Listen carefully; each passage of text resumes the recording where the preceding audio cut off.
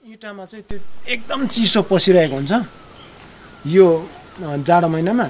अनि इक्रामा चाहिँ सिमिटेड गऱ्यो भने अब ठिक्कैको चिसो हुन्छ।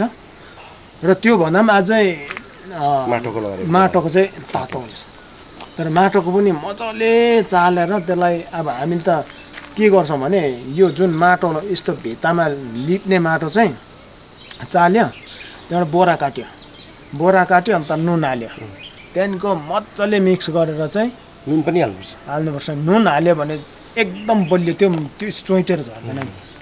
र त्यस्तो पाराले हामी बनाएको उहाँ हेर्नुहोस् त अब यो त उयो घर चाहिँ सिमिटेड देख्छ नि हेर्दा तर माटोको घर हो नि। सबै माटोको घर हो त्यो। यहाँबाट हेर्दा चाहिँ अब त्यो जम्मैले सिमिटेडै भन्छ त्यो घरलाई। तर त्यो घर चाहिँ माटोको हो। एउटा उस त्यसको घर उतापट्टि चाहिँ एउटा घर छ। त्यहीँ उतिनेर यहाँबाट छाना मात्रै देख्दैछ। त्यो चाहिँ पुरानो यस्तै इक्राकै घर छ।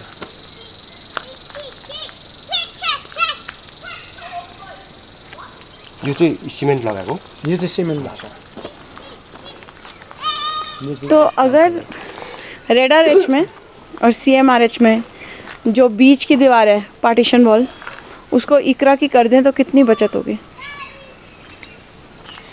इक्राको यो सेम आरएसमा इक्राको घर यो जुन इक्राको बार चाहिँ बनायो भने अंदर की दीवारें के भन्नु ए भनेपछि नि भित्रको जुन चाहिँ द- अहिले अहिले सिमारी चाहिँ हामीले इँटै लगाएर डल्लै गर्दैछ नि त छाना लगायो भने। तर त्यो हाफ इँटा गरेर हो भित्र भित्र चाहिँ पुरा त्यो के भन्छ यो जुन चाहिँ हाम्रो इग्राकै पार्टिसन यसरी काठ लगाएर पार्टिसन गरेर लिप्यो भने चाहिँ सेफ कति हुन्छ भने बचत कति हुन्छ भने कति हजार कति अहिले हाम्रोमा त सिएमआरले चाहिँ घर फिफ्टी पर्सेन्ट हुन्छ नि। फिफ्टी पर्सेन्ट सेफ हुन्छ फिफ्टी पर्सेन्ट सेफ हुन्छ। फिफ्टी पर्सेन्ट सेफ हुन्छ त्यो और लोग मानेंगे उसको या लोग बोलेंगे नहीं हमें ईंट का मकान चाहिए। अब यी- अहिलेको सेम आरएसएसमा त यसो हेर्छ अब रो यो क्यारिस कम्ती भएकोमा हेडलोड कम्ती भएकोमा अब अरूले त्यही घर पाउनेले चाहिँ चडक्कैको त्यो इँटाले बारेको देखेर चाहिँ हेडलोड जति टाढो भए पनि इँटाले बारिदेऊ भन्छ नि।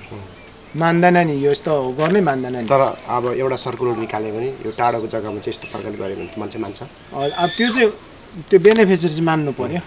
र त्यो मनाउनु लागि चाहिँ अब सरकारबाटै मनाउनु। पर्यो त्यो त छ पनि हजुर त्यो मोडल चाहिँ छ पनि जस्तै त्यत्रो टाढो जग्गामा हेडलोड एउटा एउटा इँटा बोक्नुको लागि चाहिँ बिस रुपियाँ लाग्छ भने चाहिँ। त्यो जग्गामा चाहिँ हामीले यो पार्टिसन गर्नुभयो भने पनि दिएको छ त्यो चाहिँ अब बेनिफिसियसलाई चाहिँ अब भन्नुपर्छ हामीले